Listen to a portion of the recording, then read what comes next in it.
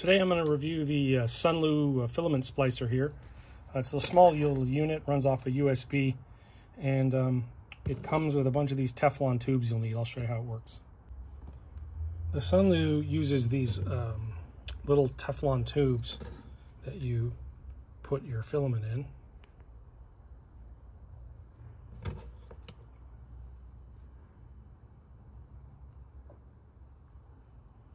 And once you've got it uh, basically touching in here, you're going to open this up. It's already heated up to the uh, PLA temperature. And then you're going to put it in here just for a few seconds.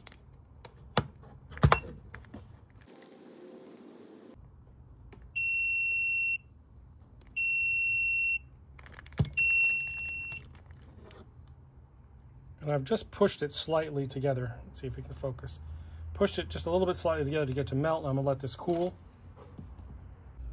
Once it's cool, I'm gonna put it up here. There's like a little teeny razor in here that's gonna cut this Teflon off.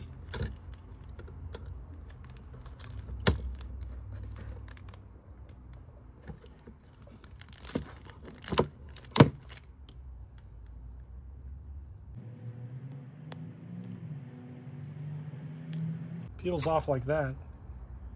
And then there you have your joined piece. So it looks pretty good, um, but the real test will be when I make some of this up and send it through the printer. Here's another one I did that you can see it, it joined together pretty good. I've spliced together a bunch of different colors on this. It's loaded up. I'm gonna hit print and uh, we'll see what happens.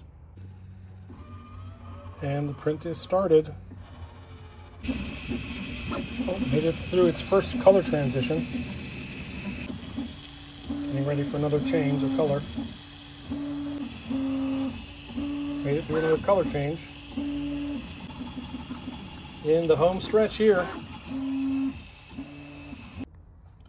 It's complete, um, has six different colors, um, all joined together uh, by the Sunlu. Uh, seems to work pretty good. Uh, you can't feel it through the internet, but it's very smooth, no real transition problems. So I think the Sunlu works pretty good, so uh, it's not that expensive, so give it a try.